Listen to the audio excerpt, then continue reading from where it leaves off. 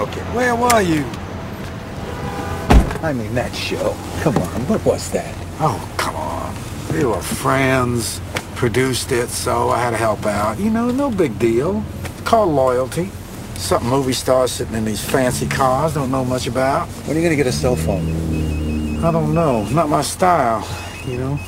Besides, I hear they give you tumors. What is this? How many of these things you need? You know, I've been looking all over for you. Uh-huh. I got an awkward. What's the name?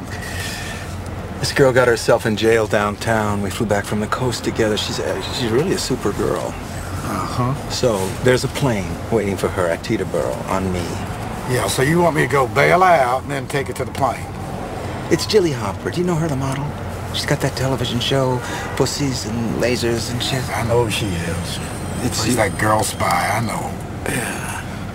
Oh, she looks like she's a vacuum cleaner, Cary. Jesus. I was flying back. I gave her a ride. She had some sort of fashion show. We hung out. Don't your girlfriend? I mean, you're not supposed to be where you're not supposed to be. You know, you're gonna have to do this for me. Why are you fighting it? Come to my benefit. Oh, please, come on. Do you really need me? I mean, it sounds so... so Come on, it's getting late.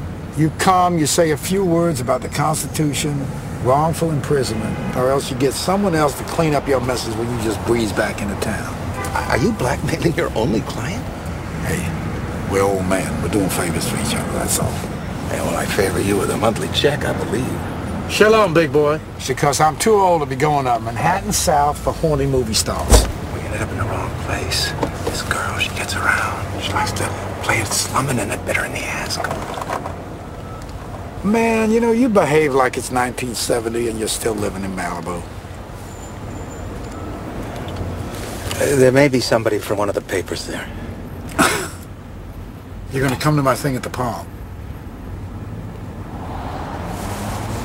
Thank you. Thank you. Well, there you have it, Dr. Publicity in action. What, what, what the hell went on last night? I don't know.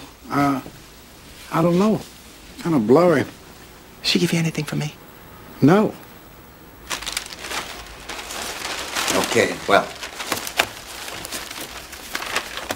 75 G's. That's a year's severance. You fire me, okay? Again? Well, here's the thing. There, there's some talk. People have approached me, some smart people. And they think I can snatch a Horgan Senate seat in the fall. You want to be a senator? Oh, I'm sorry. I didn't get much sleep. Uh, I'm overtired. Uh, um, uh, okay. A Democrat, of course. One never knows with you. Hey, I'm sure it's funny, but remember this.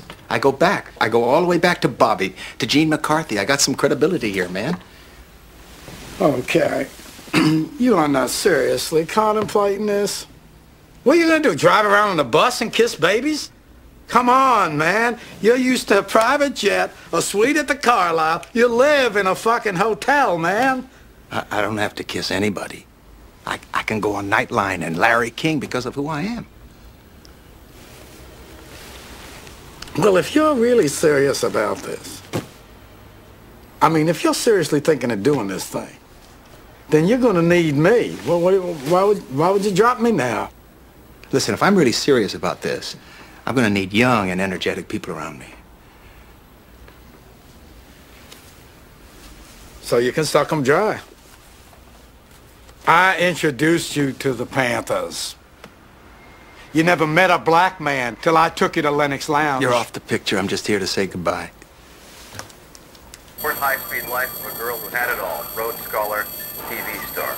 The city I think they left out Callgirl. today as a gruesome scene of Jilly Hopper's body being removed from the Dorset Hotel. She wasn't a hooker. She was just an actress acting. For 30 years, I picked up the pieces after you. Like the man at the circus who cleans up after the elephant. You're just gonna drop me now? Hey, listen to me. Everybody has their time. Now, we're friends. We're very good friends. Will you think about that? You don't want to do anything to spoil our friendship. Hey, You're supposed to be there for me tonight, man. You know, this thing is important to me. Uh, before you go, Cary, I just want to ask one question. You think if Jilly Harper hadn't come all the way to New York with you on your little field trip to an opium den, you think maybe, just maybe, she'd be alive today? What are you saying? Don't forget how much I know. Go on, Cary, walk out on me. Go on. I think someone killed her. I think I saw it. How about that? Can you just see those post headlines? Starlet's last binge with movie star slash Senator Lothario. Come on, Cary, you're always gonna need someone to pick up the pieces you leave in your wake. And they have to be someone with no real center, no real soul. Someone who'll do absolutely anything and then cover it up because they're loyal and they believe in the God. Where you can find someone like that? Well, like an Ehrlichman or a Haldeman? Come on. It's not Nixon. I'm Not so sure about that. I told people you'd be there, man. It's my name on the line.